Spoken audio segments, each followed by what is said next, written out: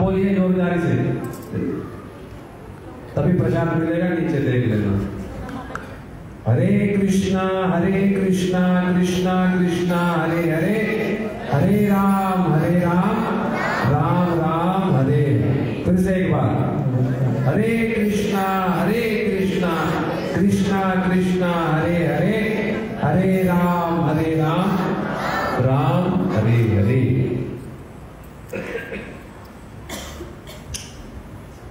बहुत ही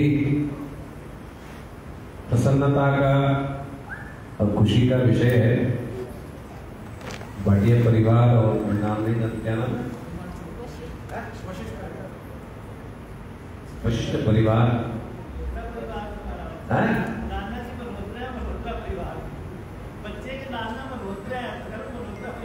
मल्होत्रा मल्होत्रा और भाटिया वशिष्ठ जी, जो भी है, सबके परिवार सबके परिवार में खुशहाली है, बेटा हुआ है।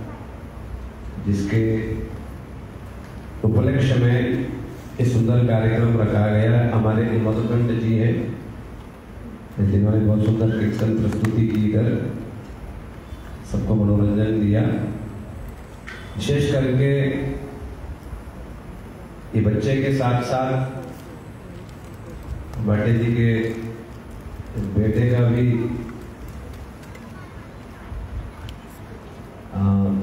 सत्यवाचन होगा, बेटे, और बहू जो अभी होगी, होने वाली। बहुत अच्छी बात है रमन बिहारी में रखा कार्यक्रम। ठाकुर जी के सामने और साधु संतों के कृपा आशीर्वाद के साथ। देखो, बहुत कम लोग समझ पाते हैं। तो बड़े ध्यान से सुनना?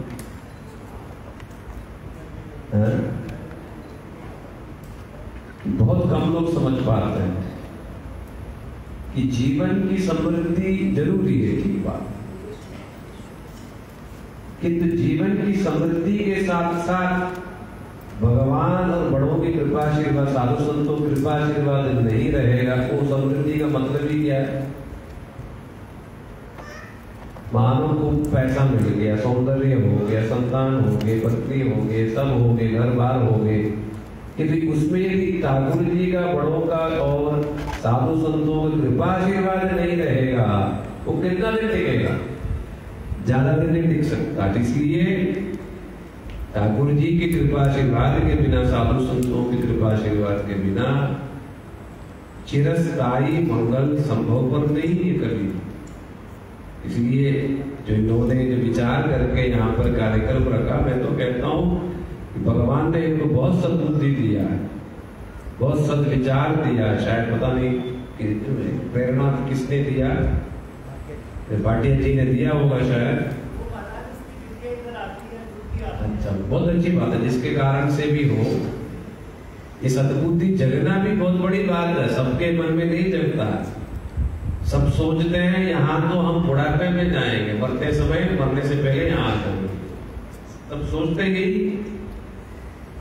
ये नहीं सोचते हैं कि मृत्यु कल भी संभव है, ये नहीं सोच पाते हैं। तो कोविड में भले ही देखा होगा फिर भी समझ आता नहीं चीज़ें सब।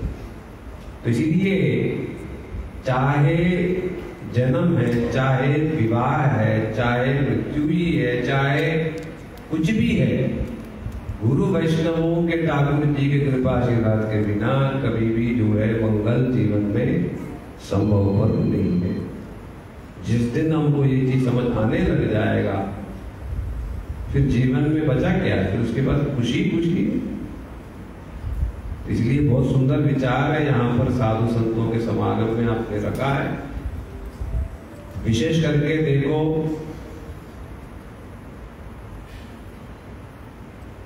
ये हमारे संस्था के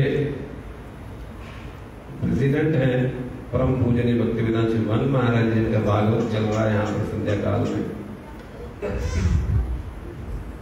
तो भागवतम में प्रसंग है कि भगवान, स्वयं भगवान श्री कृष्ण का जन्म गोकुल में होता है। और वो भी वृद्धावस्था में बैठा हुआ है। नंद बाबा का, यशोदा मैया का। इतनी खुशी है कि आप मानोगे, बर्थडे तो सब सालाना मनाते हैं। किंतु कृष्ण के लिए मैया ने महीना महीना बर्थडे मनाया कैसा? बोलो कैसा? कैसा? जिस नक्षत्र पर वो जन्म लिया तो नक्षत्र तो कितना? सत्ताईस है? तो महीना महीना नक्षत्र आता है। तो महीने के हिसाब से रोहिणी नक्षत्र में हुआ था उनका। तो नक्षत्र के हिसाब से महीना महीना उनका जन्मदिन मनाया गया। कैसा मनाया? पूरे ब्रज के जितने बड़े बूढ़े गोप गोपी जितने थे सबको बुलाया। यहाँ तक भी ब्राह्मण, साधु, संत सबको बुलाया। सबसे कीर्तन, नृत्य, फिर सारे साधु, संत, ब्राह्मणों से कृपा, आशीर्वाद बच्चे को स्वस्ति वाचन कराया, कृपा आशीर्वाद देने के लिए बोला कि इस बच्चे पर कोई विपत्ति ना आए बच्चे लंबे समय तक रहे। फिर सबको क्या किया? खिलाया, पिलाया। ये बड़ों के साधु संतों की कृपा आशीर्वाद से ही तो जीवन बचता है। नहीं तो आप क्या सोचते हो? आपके मेहनत से और पैसे पैसे से कुछ हो जाएगा कुछ? कुछ नहीं होना। जाके देख लो, बीमार पड़े पैसा भी है यदि आपके पास। डॉक्टर तो कह देगा भाई, हम तो कुछ कर नहीं सकते। उस पैसे को लेकर क्या करना और आप यदि सुंदर भी हो, और सुंदरता भी कितने साल तक? इसलिए बड़े के साधु संतों के ठाकुर जी की कृपा आशीर्वाद के बिना कुछ भी नहीं हो सकता है। इस चीज़ को गांठ बाँध लेना। और वो कृपा आशीर्वाद कैसे होगा? जब तक मंदिर में नहीं आए, साधु संतों के चरणों में नहीं बैठे, उनके सदुपदेश को कानों से सुना नहीं। अब साधु संत क्या कहते हैं इस कलयुग में केवल भगवान का नाम ही हमारा साथ देने वाला है। यदि कोई धन है तो भगवान का नाम ही धन है। बाकी सब धन को हमें छोड़ के ही जाना है। कोई आज तक लेके नहीं गया है। और इस संसार में जन्म बड़ा ही दिव्य चीज़ है। और इस जन्म के साथ साथ कर्तव्य भी है। भागवत महापुराण में है ये चीज़, तीसरे स्कंद में कपिल भगवान ने बताया कि बच्चा गर्भ में रहते समय सात महीने का जब हो जाता है, तब धीरे धीरे बच्चे की कॉन्शियसनेस बुद्धि धीरे धीरे विकसित होने लग जाता है। तो तब वो देखता है कि मैं कहा हूँ। मैं तो पेट में लटक रहा हूँ। सर नीचे पैर ऊपर हाँ? और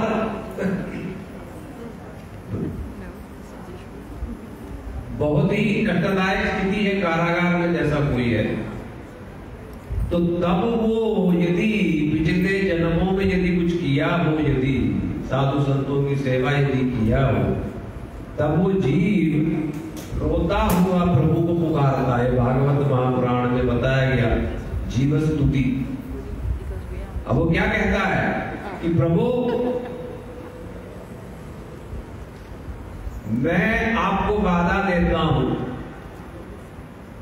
कि मुझे आप इस कारागार से जितना जल्दी बाहर निकाल दोगे, मैं बाहर जाकर के ज़रूर मैं आपका भजन करूँगा, ऐसा वादा करता। जिस वादा के बल पर भगवान उसको जल्दी से जल्दी जन्म इत्यादि दे देते हैं। तो इसलिए वो जन्म लेता है। किंतु जन्म लेने के साथ साथ धीरे धीरे माया के प्रभाव से धीरे धीरे वो भूल जाता है कि मेरा कर्तव्य भजन है, ये भूल जाता है। और ये भूल करके बाकी चीज़ों में व्यस्त रह जाता है, जिसके कारण ही हमारे जीवन में दुख आता है। नहीं तो दुख आने का तो कोई मतलब ही नहीं। जो हमने बोला, वो हमने किया नहीं। तो भगवान हमें याद दिला रहे कैसे? दुख के द्वारा, कष्ट के द्वारा। कि याद करो तुमने क्या बोला? इसलिए ये जन्म के बारे में बताया गया भाग हाँ तो इसलिए हमें याद रहना चाहिए कि हम वज़न करने के लिए यहाँ पर मनुष्य जीवन हमको मिला है।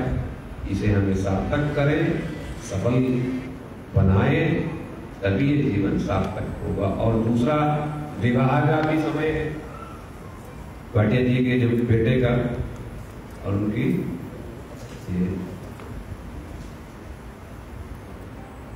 होने वाली जो बहू है, ये भी बहुत सौभाग्य की बात है। और मैं तो काफ़ी कुछ समझाता हूँ, वैसे अभी तो टाइम नहीं है। फिर कभी सुयोग होगा, समझाएँगे, विवाह क्या है, क्यों है विवाह? विवाह तो बंधन है? तो बंधन क्यों स्वीकार करें? क्यों? क्यों स्वीकार करें? इसमें यदि जब तक परमार्थ रूपी कोई फल नहीं है ये बंधन बेकार है। विवाह में यदि एक दूसरे के प्रति परमार्थ रूपी कोई लेन देन नहीं है तो तो केवल निचोड़ना है? इनसे निचोड़ रहे वो उनसे निचोड़ रहे बस।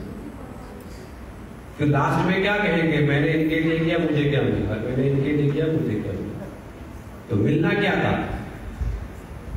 क्या मिलना था? परमार्थ स्पिरिचुअलिटी इसके अलावा क्या ही दे सकते हैं किसी को? इसीलिए विवाह का मूल प्रयोजन धीरे धीरे धीरे सब भूल गए हैं। इसलिए विवाह अब बिल्कुल एक दर्दनाक स्थिति हो गया। इसलिए लोग समझ नहीं पाते। समझाएगा कौन? साधु साधु संत समझा सकते हैं, बाकी लोग कौन समझाएगा? बाकी तो मालूम ही नहीं सात फेरे रहते हो। सात फेरे का मतलब ही नहीं पता। क्या आपने लिया मालूम है कुछ? कुछ नहीं मालूम बस।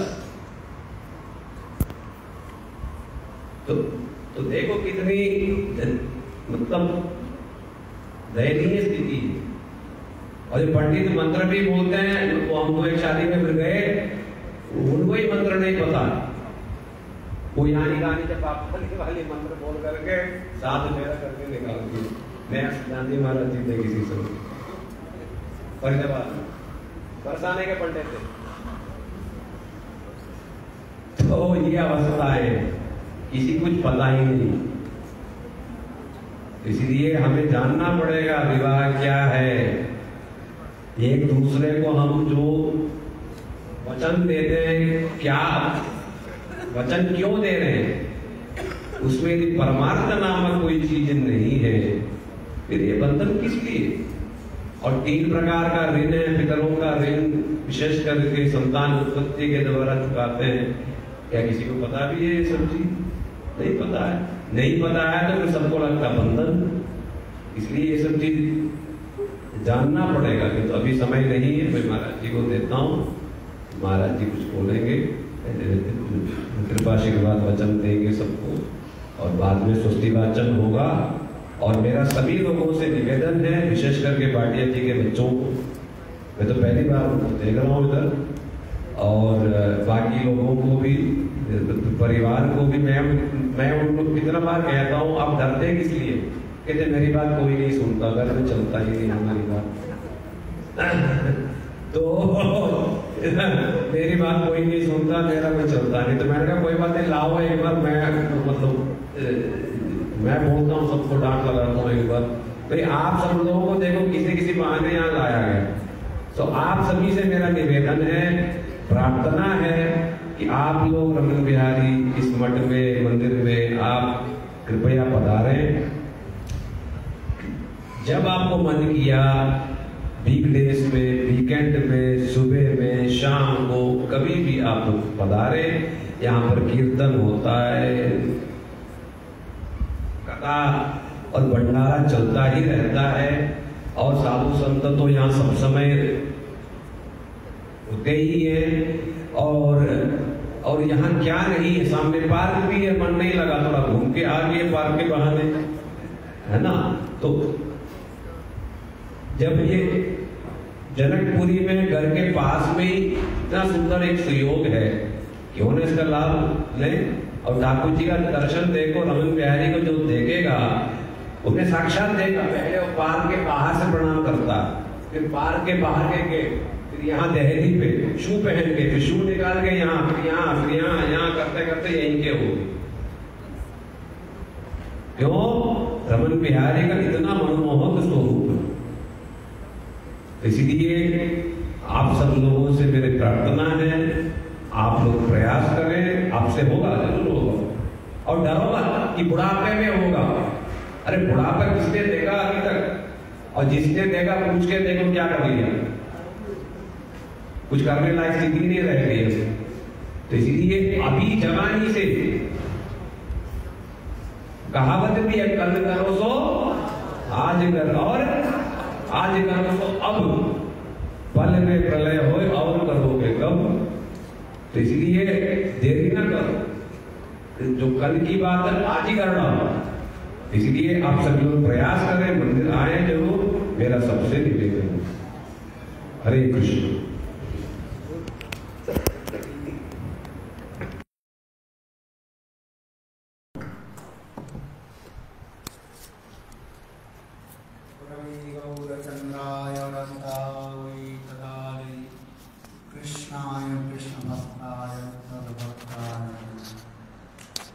वञ्चाकल्पतरुश्च कृपा सिन्धुभैव च। पतितानं पावनेभ्यो वैष्णवेभ्यो नमः। प्रभु नित्यानंद श्री अद्वैत गदाधर श्रीवासादि श्री गौरभक्तवृंद हरे कृष्ण हरे कृष्ण। कृष्ण कृष्ण, हरे हरे।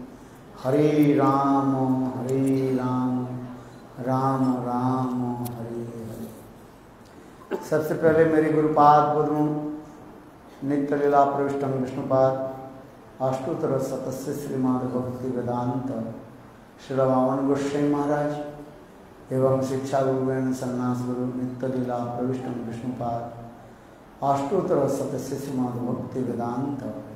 श्री नारायण गोस्वामी महाराज का वचरण कमल में अनंत करोड़ साष्टांग दंडवत ज्ञापन करता हूँ।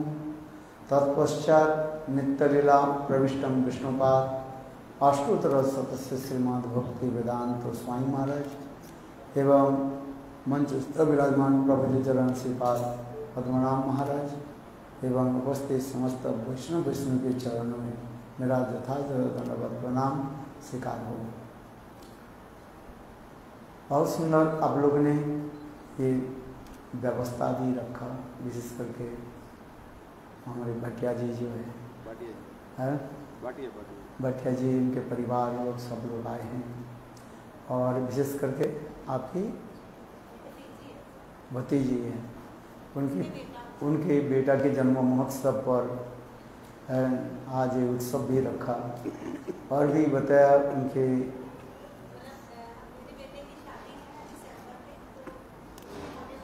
अच्छा आपके बेटे की शादी होने वाले जो इंगेजमेंट उसके बारे में भी उसे मैंने बहुत अच्छी बात है। इससे परमार्थी भी लाभ होता है। जैसे महाराज जी ने बताया कि इसमें कुछ संस्कार लगता है। हमारे भारतीय सभ्यता संस्कृति में ऐसे ही बताया गया है। जैसे अभी अभी महाराज जी ने बताया, देखो, स्वयं भगवान कृष्ण माँ जसोदा के गर्भ से जन्म लिया। और नंद महाराज समस्त ब्रजवासियों की बुला करके और वो उत्सव मनाया। नंदस्तु आत्मज उत्पन्न जात राधो महामय श्रीमद भागवत में सुखदेव गोस्वामी पाद भी कार्य स्वयं नंद महाराज ब्रजवासियों और ब्राह्मणों को बुला करके और अपने पुत्र के जन्म संस्कार, यानी जन्म उत्सव कैसे सुंदर मनाया। ब्राह्मणों को भी दान दक्षिणा भी दिया, ये सब बना जिसको कहा जाता है, जाति संस्कार भी कहा जाता है। हमारे भारतीय सभ्यता संस्कृति ऐसी है। पाश्चात्य देशों में ये सब विधान नहीं है। किंतु हमारी भारतीय सभ्यता संस्कृति में मंदिर में आते हैं, ठाकुर जी के दर्शन करते हैं? और पाठ पूजा आदि कराते हैं, सस्ती वाचन आदि कराते हैं, कैसे, जिस प्रकार का हम लोग आप लोग भी श्रवण कराया।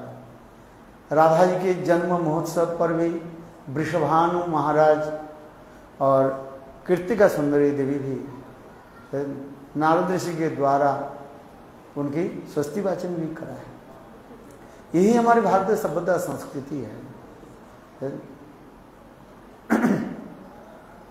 विशेष करके नंद उत्सव पर, अर्थात माँ जसोदा के बाल के उत्सव पर कैसे माँ जसोदा दीपक लेकर के भी जमुना में ही दिखाते रहते एक छोटी सी कहानी आप लोग को मैं सुनाता हूँ, हमारे पुराण में सुंदर में वर्णन किया। कृष्ण के जन्म उत्सव पर माँ जसोदा ने विचार की, आज मैं जमुना में जो है, एक हज़ार एक सौ आठ दीप दान करूँगा। कितने? एक हज़ार एक सौ आठ दीप दान करूँ। और गोपाल के लेकर के गए जमुना ब्राह्मणों के द्वारा मंत्र पाठ आदि करने लगे, मंत्र पाठ होने लगे।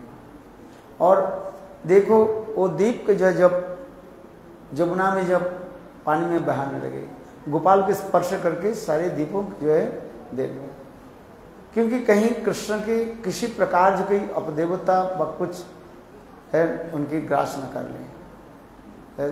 इसलिए एक एक दीपक मानो गोविंद की, कृष्ण की मस्तक पर स्पर्श करा करके और ब्राह्मण के द्वारा बहुत यथार्थ मंत्र, वेद मंत्र के द्वारा उसके जमुना में प्रवाहित करें।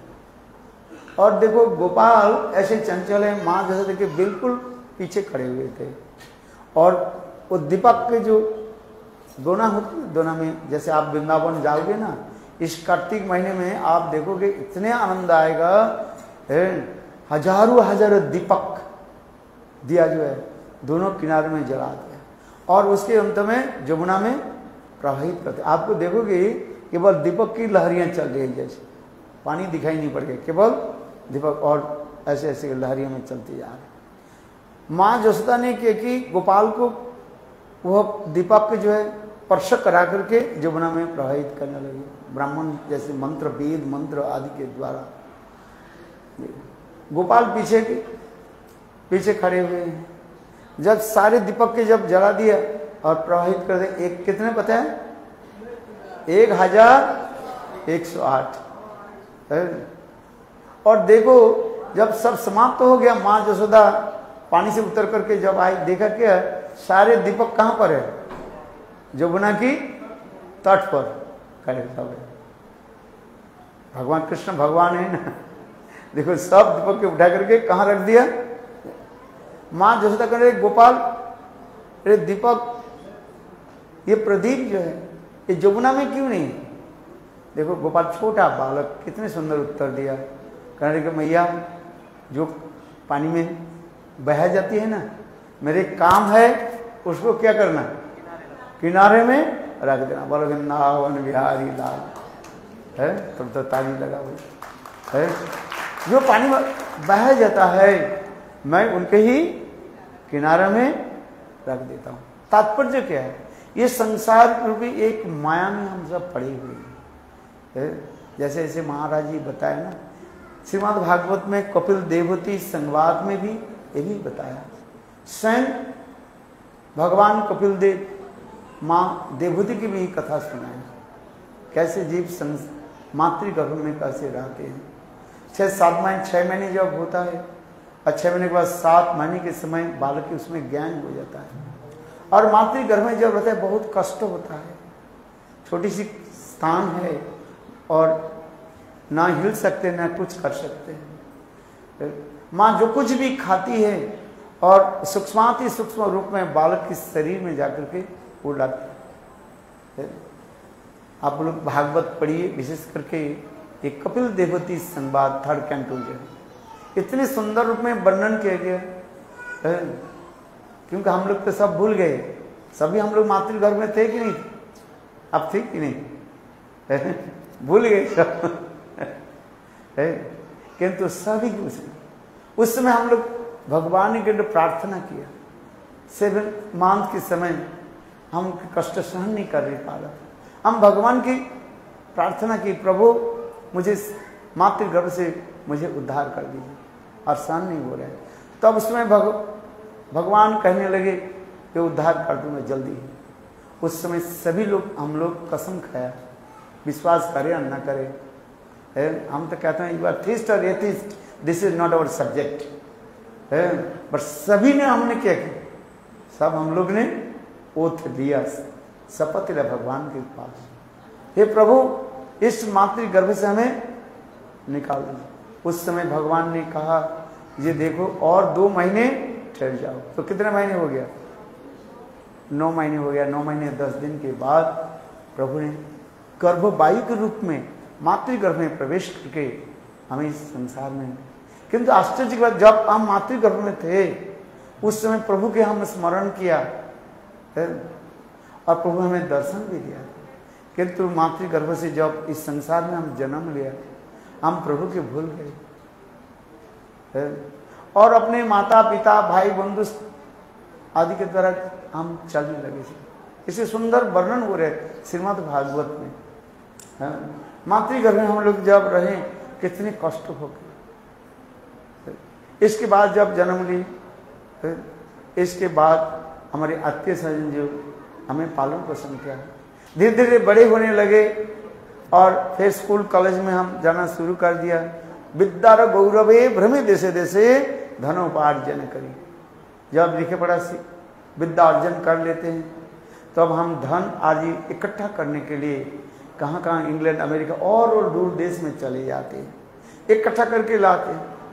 और जब धन इकट्ठा करके लाते हैं तो फिर क्या करते हैं? बहुत अच्छी तरह से मकान बना लेते हैं। है? और मकान बना करके फिर हम क्या करते हैं? विवाह आदि करते हैं। न गृहम गृहिणी चन यदि घर में गृहिणी गृहिणी नहीं हो पत्नी नहीं हो उसके गृहणी कहा जाता है, है? इसलिए शास्त्र में कहा जाता है गृहस्थ और मठवास में ये अंतर होता है, है? गृह गृह गृहिणी कौन का गृह किसको कहा जाता है? जिसमें घर में रह करके विधिवत शास्त्र के वेद मंत्र के द्वारा विवाह आदि करके पत्नी के साथ रह करके भगवान उपासना होती है उनका उसी कहा जाता है, गृहस्थ कहा जाता है। एक होता है गृहस्थ और एक होता है गृह मेधी। थोड़ा आप लोग के समझ में कम आएगा किंतु शास्त्र में कहा गया ये गृहस्थ कहा जाता है। जो गृह में रह करके पति पत्नी पुत्र संतान के साथ भगवान की सेवा आदि करते हैं। उसी की यथार्थ कहा जाता है, गृहस्थ कहा जाता है। और गृह मेधी शब्द कहा जाता है, ये गृह में तो रहते हैं, किंतु तो भगवत आराधना नहीं करते। जैसे पहले पहले धान, गेहूँ आदि को एक अलग करने के लिए एक बीच में एक खूंटा जो है गाड़ दिया जाता था। उसमें लंबी एक रस्सी बाँध दिया जाता था। और उसमें दो चार गाय व पशु के घुमाया जाता था। उसी का मेधी कहा जाता है। मेध मेधी शब्द जो लोग केवल अपना ही माता पिता, भाई बंधु, स्त्री पुत्र इसमें सीमित रह जाता है, उसके भगवत भजन नहीं करता है, उसकी कहा जाता है गृह मेधी कहा जाता है। और जो गृहस्थ में रह करके, घर में रह करके माता पिता, भाई, बंधु, स्त्री, पुत्र, परिवार सबके समान आदर करते हैं और साथ ही साथ भगवान की सेवा करते हैं। उसी की कहा जाता है, शास्त्र में कहा जाता है, गृहस्थ कहा जाता है। मनुष्य जीवन की इसी प्रकार हम गृहस्थ होकर जीवन यापन करें, भगवत आराधना करें। इसलिए पुराण में लिखा गया वर्णाश्रम आचरात आचरतवता पुरुषेण परकुमान विष्णु आराधते पंथा नान्य तत्व कारण विष्णु की प्रसन्न करने के लिए कहा गया, ये गृह में रह करके अपने स्त्री, पुत्र, परिवार, पति आदि के साथ एकत्रित रह करके भगवान विष्णु की आराधना करें, सेवा आदि करें। सबके अपने अपने कर्तव्य जो है ड्यूटी एंड रिस्पॉन्सिबिलिटी जो है, वो पालन करें। ये हमारे शास्त्रीय में विचार कहा गया। नहीं ये नहीं है ये हम दो और क्या बोलते हैं, हम दो, हमारे दो। माने मेरा, मियाँ बीवी और एक बेटा, एक बेटी, सास ससुर कहाँ जाएँगे? बोले, सब कहाँ भेज दो? वृद्धाश्रम में, ओल्ड हाउस में। किंतु हमारे भारतीय सभ्यता संस्कृति ऐसी नहीं। भारतीय सभ्यता संस्कृति उसी के कहा जाता है, सभी एकत्रित होकर के रहें और भजन साधन भी करें। प्रभु की सेवा करें। कहीं भी आप रहें चलो कह आप कहेंगे जो हमें तो काम करना है दूर देश में भी जाना है, है? कहीं भी रहे किंतु तो एक सभी एक सूत्र में जुड़े रहे रहे और प्रभु के भजन करते रहे। और यही हमारे भारतीय सभ्यता संस्कृति है। इससे यदि हम भगवान के भजन नहीं किया तो माया हमें धीरे धीरे लेकर के चले जाएँगे। इसलिए स्वयं जो कृष्ण जो कह रहे हैं जो इस संसार रूपी नदी में जो बहती हुई जा रहे हैं। और मेरे कर्तव्य क्या है? उसकी किनारा में ले आना। वास्तव इसी प्रकार जो है, हम जन्मोत्सव मनाएँ, पुत्र के जन्मोत्सव मनाएँ, कुछ भी करें, सब पहले क्या करें? गोविंद की अर्पित करें। इसलिए गीता में भगवान कहते हैं, मुझे अर्पण नहीं करके, जो ग्रहण करता है, खाता है। वास्तव रूप में प्रति ग्रास ग्रास में, भजन में, वो पाप भोजन करता है। और उस पाप को भोगने के लिए फिर पुनः पुनः इस संसार में उनको आना पड़ता है। किंतु भगवान कहते हैं, मुझे अर्पित करके वो महाप्रसाद जो ग्रहण करते हैं, और उनके संसार में पुनः आना नहीं पड़ेगा। बोलो, वृंदावन बिहारी, लाल की जय। इसलिए आप लोग जो ये उत्सव जो मना रहे हैं रमन बिहारी गौड़ी मठ में आकर के ये सुंदर जो उत्सव मना रहे हैं है? ये वास्तव जो है प्रभु की कृपा है, है? हम यही करके अपने वचन के यहाँ पर विराम देता हूँ। अभी सस्ती वाचन हो जाए क्योंकि हमें अगले प्रोग्राम भी है आज गिरिराज गोवर्धन की धारण भी है, है? और भागवत कथा भी चल रही है चार बजे से हमारे यहाँ पर कथा जो है प्रारंभ हो जाएगा। इसलिए आप लोग के निकट मैं भी निवेदन करता हूँ, भागवत कथा में आप लोग भी है, आइए। और आज विशेष कर गिरिराज गोवर्धन की अन्नकूट महामहोत्सव हम लोग करेंगे। इस अन्नकूट महामहोत्सव में आप लोग सभी भाग लें और यही करके मैं अपने वचन के विराम देता हूँ। और आइए आप लोग और थोड़ा सस्ती वाचन कर देते महाराज जी का थोड़ा सस्ती वाचन हो जाए। इसके बाद आप थोड़ा कीर्तन करें, जो आगे के आपके प्रोग्राम जो है, आगे हो बोलो, वृंदावन बिहारी लाल की।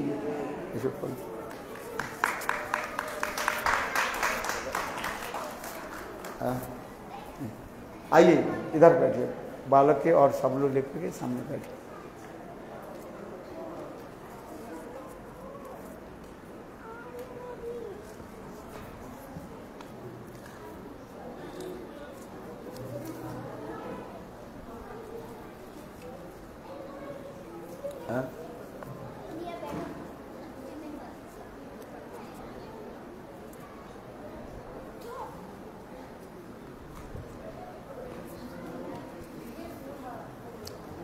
हाँ जी भटिया जी आ जाओ। हाँ। क्या जी? वो छोटू है ना उसके कपड़े दो मिनट अच्छा अच्छा ठीक है बात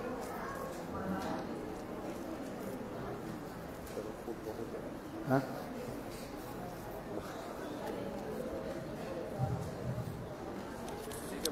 हाँ? ये सस्तिवाचन हाँ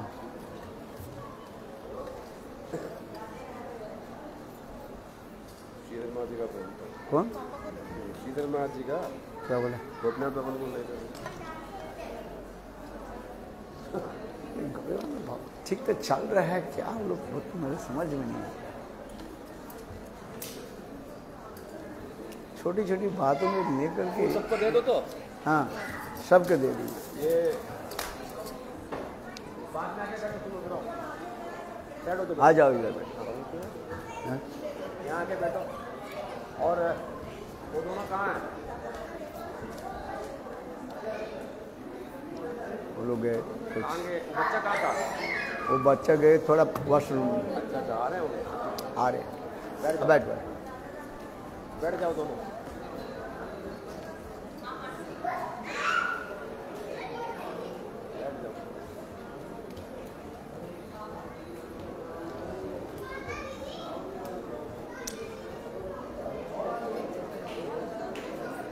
नाम क्या आपका? रिजुल और इनका?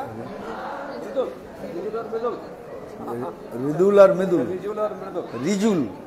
रिजुल और मृदुल। वाह अच्छा नाम जोड़े। बहुत सही।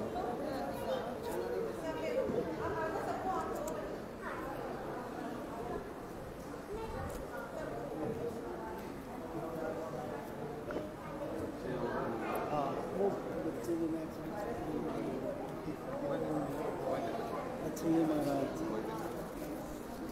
बाद में देना कार्ड बाद में दो पहले कार्ड बाद अच्छा अच्छा अच्छा। हाँ कार्ड दे दो हैं? गुरु जी को लगा के अरे गुरु जी को लगा के महाराज ये क्या करना है। हैं?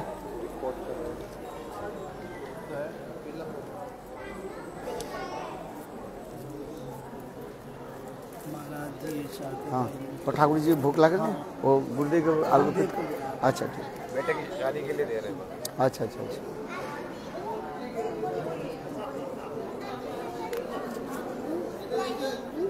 ऐसे ही देख के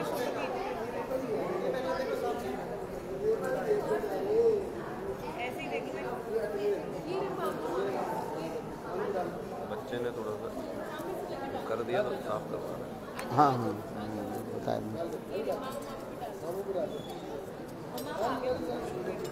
किसकी बेटी है? इसका सस्सी महाराज। जी आप लोगों ने किया था। अच्छा। हाँ हाँ। तो ठीक है। ने ऐसे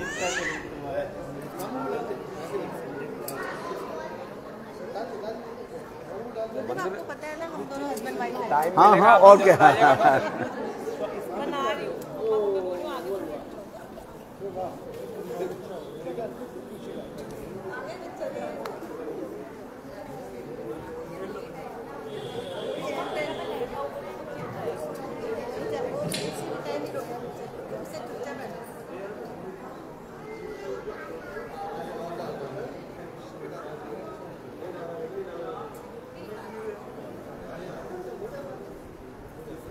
प्रिंसिपल कहती हैं कि जब आपको मर्सी हुई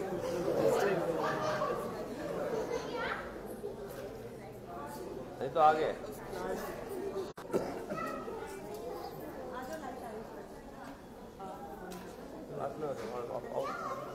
कुछ बत्ती कैसे चल रहा है? बैठो बैठो बैठो बैठो बैठो हाँ बैठो अच्छा पुरुषोत्तमो दधातु स्वस्ति नो विश्वक्षेण विश्वेश्वर स्वस्ति नो ऋषिकेशो हरिः दधातु स्वस्ति नो पावनः कृष्णो, ममैव सर्वत्र स्वस्ति ऊर्जात् श्रिया, क्षमां तथैव च सदाकर्षणी, सर्वविघ्न, विनाशन। कृष्ण करोतु कल्याणं कंस कुंजर केसरी कालिंदी जलोकल्लोल कोलाहल कुतूहल माधवो माधवो वाची माधवो माधवो हृदि स्मरन्ति साधव सर्वे सर्व कार्येषु माधवं लाभस्तेषां जयस्तेषां कुतस्तेषां पराभव येषाम् इन्द्रवर श्यामो हृदस्थो, जनार्दन, ॐ स्वस्ति ॐ स्वस्ति ॐ स्वस्ति ॐ स्वस्ति, ॐ ॐ सर्वमङ्गलं भवतु। तमसो मा ज्योतिर्गमय। हरे कृष्ण हरे कृष्ण कृष्ण कृष्ण। हरे हरे हरे राम हरे राम राम राम। हरे हरे। बोल वृंदावन बिहारी लाल की जय। जय जय श्री राधे जय जय श्री राधे जय जय श्री राधे।